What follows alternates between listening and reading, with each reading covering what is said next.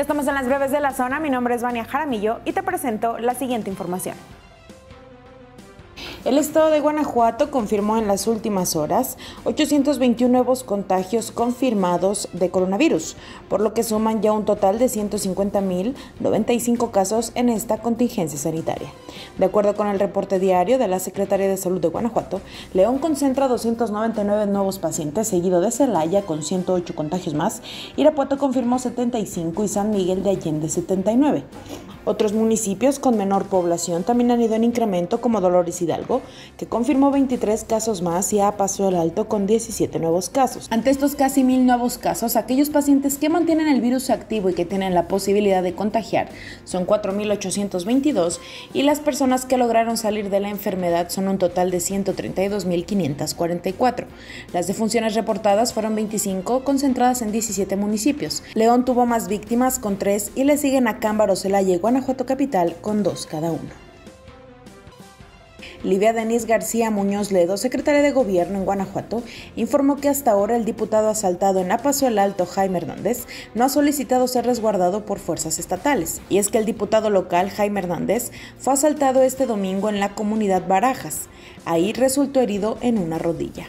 Sobre la seguridad de él y otros funcionarios, Livia Denise García recordó que hasta ahora se mantiene con resguardo a seis alcaldes que pidieron el acompañamiento desde campañas y que se ha mantenido el apoyo. En el primer semestre del 2021 se registraron 362 agresiones contra la prensa en México, es decir, se perpetró algún tipo de ataque contra este gremio cada 12 horas, según pudo documentar artículo 19 en su informe sobre la violencia contra la prensa durante enero-junio de este año, en el cual señaló que los principales atacantes provienen del Estado a la par que la cobertura de corrupción y política fue la más vulnerable. La organización civil advirtió en su el aumento de las intimidaciones y el hostigamiento, la principal agresión que se pudo confirmar con 130 incidentes, lo que representa el 31.22% del total.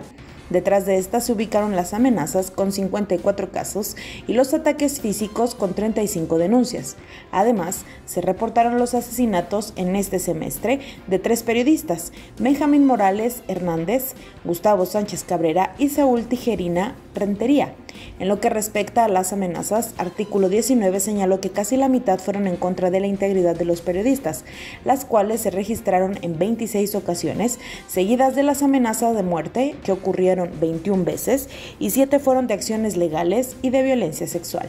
Lea mañana el estatus en el que se encuentra Guanajuato.